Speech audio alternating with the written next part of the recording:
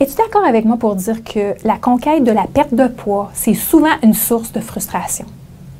En passant, la frustration, elle est causée par la croyance que tu es entouré d'obstacles. Et le sentiment que tu as de frustration, c'est que tu mets des efforts, mais tu n'obtiens pas de véritables résultats qui sont satisfaisants. Donc, le message derrière ta frustration, c'est que tu as besoin de modifier ton approche pour atteindre le but que tu désires. L'approche que tu es en train d'utiliser en ce moment, elle ne fonctionne pas. Alors, c'est pour ça que tu te sens frustré constamment. En fait, qu'est-ce qui se passe? C'est que les gens vont dire, ben oui, mais tu sais, euh, j'essaie de perdre du poids, là, puis euh, je réussis pas, et je n'ai même pas réussi à perdre une livre. Ben, la première chose que je leur fais conscientiser, c'est les mots qu'ils utilisent.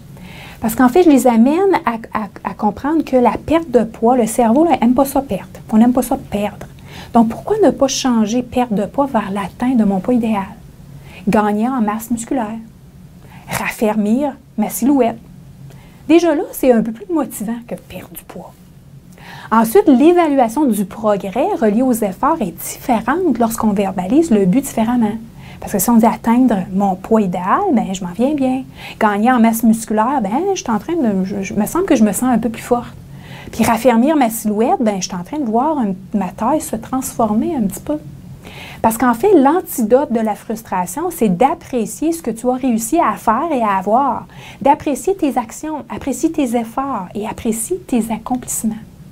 Alors, lorsque tu te sens frustré par rapport à une situation en particulier, prends le temps de te poser les questions suivantes. Qu'est-ce qui fonctionne? Puis qu'est-ce qui ne fonctionne pas? Qu'est-ce qui pourrait t'apporter d'autres résultats? C'est quoi tes alternatives? Qu'est-ce que les autres font qui fonctionnent bien que tu pourrais imiter? Qu'est-ce que tu pourrais avoir comme, qu'est-ce que tu pourrais appliquer de différemment? Alors c'est simple. Pour transformer ta frustration en satisfaction, change ton approche.